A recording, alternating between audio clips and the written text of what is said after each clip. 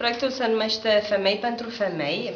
Este implementat de Fundația Romanian Angel Appeal în parteneriat cu Ministerul Muncii și cu uh, suportul uh, Direcției de Asistență Socială Dorohoi. Uh, în cadrul acestui proiect astăzi începe cursul uh, de la Dorohoi pentru o grupă de 20 de persoane. Acestea vor fi calificate în ocupația de babysitter.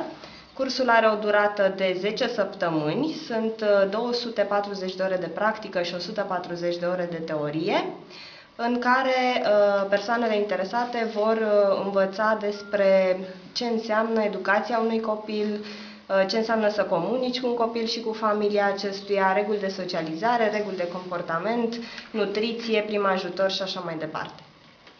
În total, în, uh, la nivel național, vor fi calificate 2115 femei. În cazul în care uh, vor mai fi uh, locuri libere, putem uh, lua în considerare să revenim în Dorohoi, uh, probabil în 2013. Proiectul se finalizează în septembrie 2013.